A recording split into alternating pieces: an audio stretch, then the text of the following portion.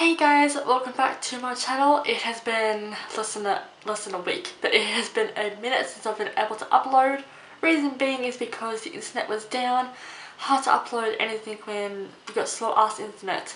Technically it was my fault, even though I am on my dad's um, family bundle and he pays the load. Still I'm technically eligible enough to 25 years old. I'm definitely eligible enough to be paying my own bills etc. I don't even have that many bills the fee was like $50 over, which I was meant to pay, but it took us a good few days to figure that out. I officially set myself up in a direct account that helps to um, you know, give them the money that I need. Obviously the service service provider that we're with. All sorted now, internet is back to normal, so to quickly get this video edited, filmed first obviously, edited and uploaded before the internet decides to shut down on us again. So we all know that um I haven't got my bedroom light on. That's alright, you guys can see just fine. We all know that a couple of people have been doing the my pet chooses my makeup. I recently did um my cat chooses my makeup. There was my pet does my makeup. A couple of people had before that been doing this particular person chooses my makeup. Nikkie Tutorials recently did a um Google chooses my makeup, which I will definitely do that one as well, but a bit at a later date. This video, I'm going to be doing something I'm pretty sure that no one else has done. If they have, then obviously credit goes to the um uh, the original creator or what have you. I'm going to be, as you've obviously read by the title, I'll be doing my iPod's camera that um chooses my makeup for me. I would use my camera, but I'm obviously recording of that. There is no way I'm using my phone because that's a zombie facing the apocalypse right now. It has literally gotten twice as worse um, since my is my phone possessed video. Anyway, so and my iPad is too big, I'll pretty much take a photo of the whole entire landscape. iPod it is, plus it's just um, photos, I'm not like recording any videos. So I have already cleansed my face, trimmed up the rose garden a little bit, being my eyebrows. I've already moisturized with coconut oil. Let's get started. Okay, first things first, obviously I do have um, three foundations to choose from, so let's dig them out. Okay, so I do have them probably like 60 inches apart from each other to my nose is so damn itchy. It's like I've got cat hair on or something. So I'm going to just switch, the, switch it over to square option. I'm going to point and aim my camera, um, obviously at one of the products. Um, I'm going to close my eyes and or turn away or a bit of both. Take the picture, hopefully my thumb lands on the uh, button properly the first time. And then, so I have got Maybelline, NYX and Rimmel. Um, I'm pretty sure that Rimmel is a cruelty-free brand. NYX definitely is. I'm not too sure about Maybelline. I don't know, so thumb on the button is ready to go. So I'm just going to point point and aim my camera. Whatever it is aiming closest to, that's what I'll be using.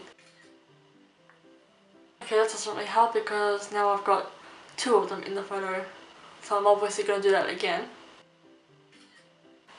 Maybelline it is. I'm going to lower this exposure so that when I do get to show you, um, it's to be easy for the camera to focus. Again, I can also just bring the photo up onto the screen by editing the. It saves me from having to uh, focus half a million times. So Maybelline it is. I should have pre-dipped in my beauty sponge. Be right back. Okay, that's better.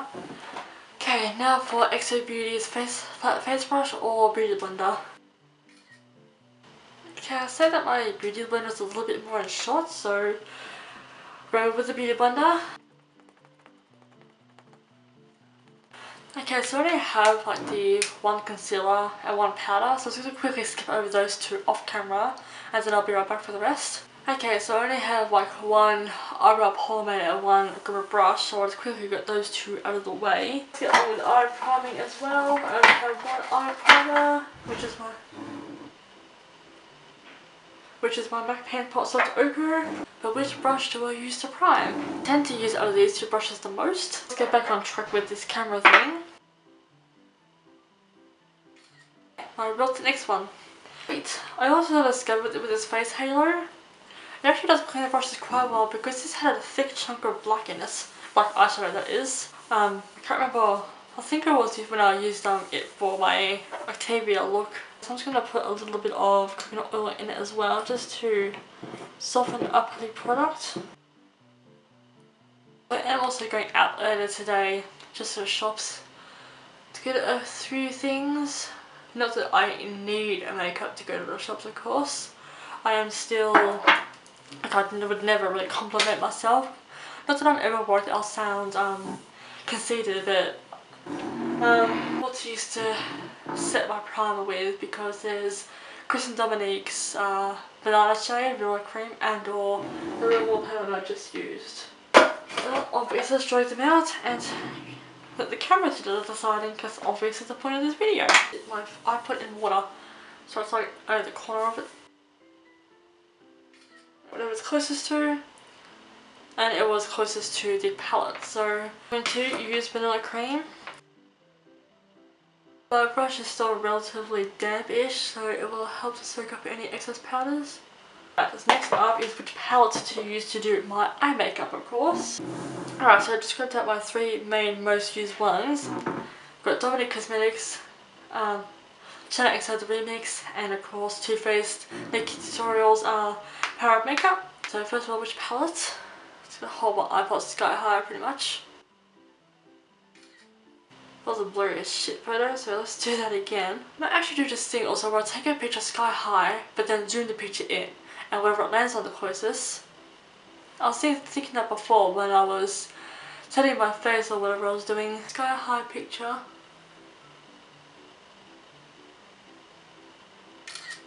Okay. Alright, Nikkie Tutorials it is. That actually worked out um, a lot better than I thought it would. I literally don't know the difference between these two freaking brushes. They're both from ABH and they're both do precisely the same thing. So now for deciding of which colour to go in with first. So this is kind of like a revamped version of um, Random Colours Makeup Challenge that Kisser is still repetitively, repetitively doing. I don't want to take that too far out because the camera won't zoom in close enough. Okay, well I'm also going to be focusing on what's directly in the centre and Wham Bam, which is the purple shade, is what we're going to be starting off with. This is going to be interesting. Obviously, crease tone. I know how Kisser feels now with all of her random colour makeup challenges. Um, she picks out obviously random colours and she's always scoring these really, really colourful tones. I mean, Kisser is colourful and she's very bright. She's basically like a walking um, Urban Decay electric palette. every look she does so far, except for when she has full control over what she's putting on her face, when it comes to a challenge, especially her ongoing um, random colours challenges, um, ends up coming out a rainbow, a smoky rainbow. I do also need to get back on track with my Monster High looks. I have the wig for the next one, I just haven't got around to it. I don't even remember what the chick's name was who I was about to do next, but um, all I know is technically by end result, surprise, he was a ghost. He was able to, I mean ghosts can come as transparent or solid. Um, so the fact that she could make herself solid in appearance, no one second guessed. I remember her name. Okay, so still keeping on with the same picture, I'm going to zoom up on a different shadow, hopefully. Okay, I Will Always Love You, which is technically one of the two blush shades. This one. Something tells me I'm destined to match myself up to my jumper. I might also just put might also just put a little bit of that on my um, upper crease, transition the purple a bit. Very, very, very lightly. Next shade from the same palette is going to be, like I said, I'm focusing directly indented to all the photos, so makeup and chill. So, chilla in Trigedasleng, which is the used language in 100, means stay calm. I have been learning a lot of um, slang as I've been watching the series. Season 5 doesn't really have much of this go slang language anymore. Probably be. So there's shulfub, be quiet or shut up. Obviously Heda, commander death, one uh, Heda, commander, one Heda, commander death. The most iconic line that Lexa has. I'm like Heda, and I now thought I'm gonna hey. I'm most likely getting the um, translation wrong a little bit, but I'm definitely not far off. Considering for all the actors the language is not easy to learn. I mean when you watch a series over and over and over again you pretty much become, you know, very familiar with, what, with what each of the words are. Pretty much me at this point. Sort of my life. I reckon I could go just a little bit darker than that. And now for something on the under eyes. Uh, painkiller. I kind of decided was Bang Bang more in the center or Painkiller, but Painkiller is. I'm going to be taking on the smaller end of the brush, taking pink, uh, Painkiller, Painkiller, which is technically a transitional brown that you can use in the crease. It's on the under eyes. Which you use enough of it, it will come up as enough brown. As you can obviously see. Okay, now for a brow bone highlight. Uh, that's not really in the center as well as I wanted it to be. Try that again. I managed to click out of the photo and onto the camera. Try that a third time, third time's a charm. Yeah! Champagne truffle. Pretty much uses a charm brow bone highlight anyway. Okay, and now for a inner corner highlight. There is no way that I can use makeup and chill as my inner corner highlight, but that's what it's landed on. Oh my gosh. Well, I mean, I set myself up for this challenge, so I have to do what the rules what as the rules apply. Okay, you know, for the pigment wise and everything, not bad for a palette. It's technically not that um opaque. I got stuck with the one of Mecca, and pretty much a lot of people got stuck with something that wasn't really um some people got stuck with the palette that wasn't really opaque, unlike with um the American Soul ones. Okay, so that is it for the um palettes for the eyes. So now I'm going to start between eyeliders because I tend to use this black from the ABH Lip Pro palette and obviously a regular liner. Regular uh, liquid liner, pencil liner which I prefer, and of course my Pro palette. And let's let the camera do the deciding. My Pro palette. Okay, so it does come with a brush, but whether that or my eyeliner brush. Actually probably maybe it's got my pencil liner brush because that's a little bit sturdier.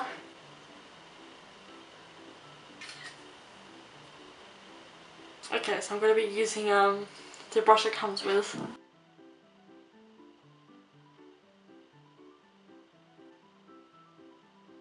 Okay, Party Stock or Naturals. I do, I do also have the romantic in a single set because my other ones look like shit. I don't know why I'm looking away with better view. Anyway.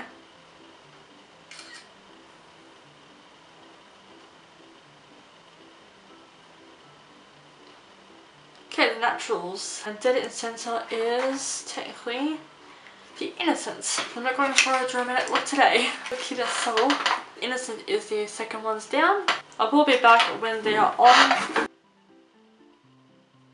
Okay, while that's getting tacky, I did also forget mascara.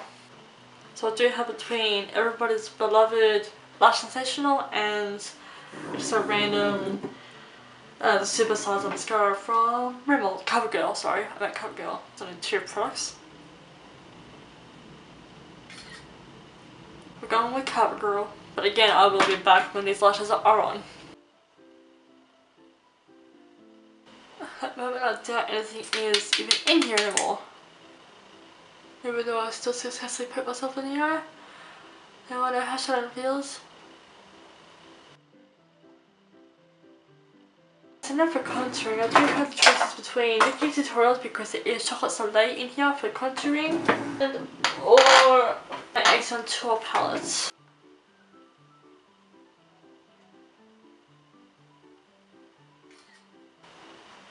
and contour. Okay, to contour I tend to use either my original face expert face brush or um, my angle face brush.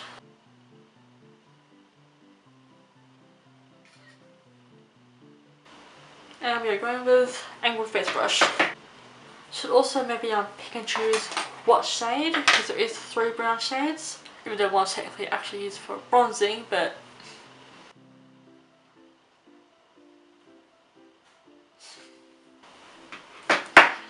It wants me to contour with the bronzing shade. So a little bit of it at a time though. Technically you can contour with bronzer, Shannon always does. So I'm also just wiping it on the back of my hand every time I dunk it in. Shave off the double chin. Okay, and now to bronze. Cool. Shade that I bronze with anyway. That's what I tend to get in with my petal brush, but let's just see which brush it wants me to uh, bronze with.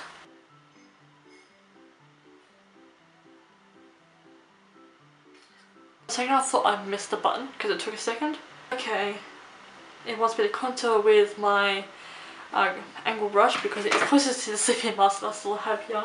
I was wearing my sleeping mask and my head still before I switched the camera on. It's again dunking in but then just wiping off. Like there's just like no much point in this anyway. That's what the camera wants me to do.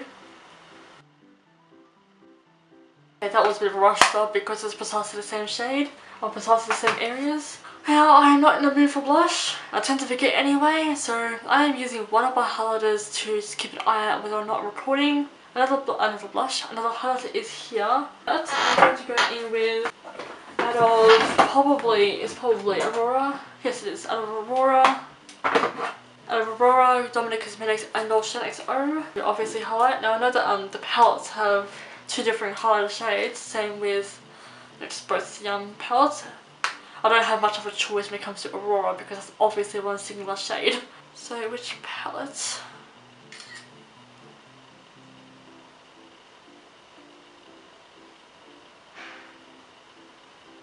Okay, so I can start really dead center but the closest is XO Beauty. We're going in with Aurora and to highlight, use my um let's go on Kylie Cosmetics for once. One Aura XO Beauty because they are literally the same brush, more or less.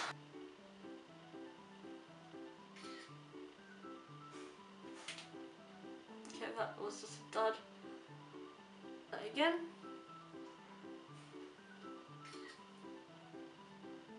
Okay, we're going in with Kylie Cosmetics. The photo is blurry as shit, sorry about that.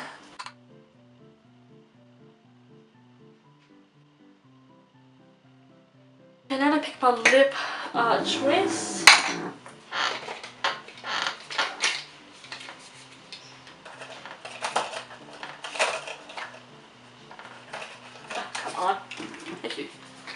have two different kinds of XO Beauty, lip liner and lipstick. There's also liquid lip.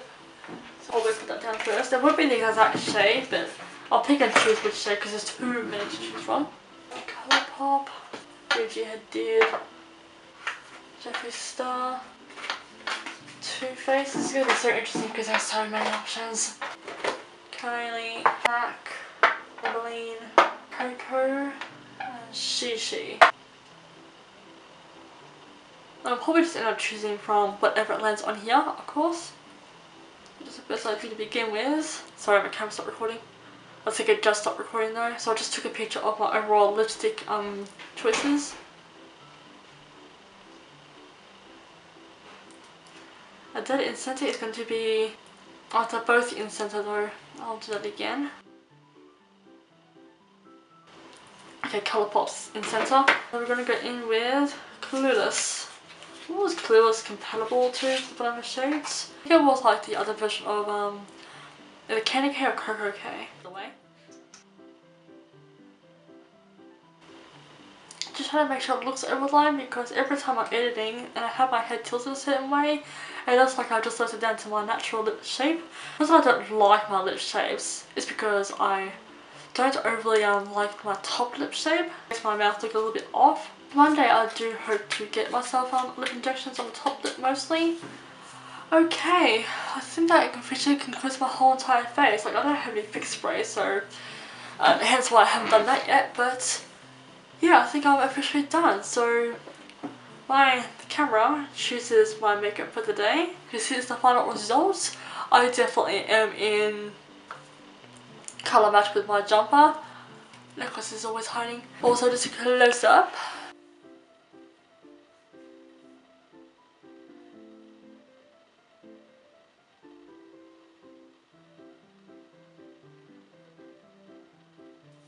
So thank you all for watching. I really do hope you enjoyed this video and I shall see you all for my future videos. Bye bye!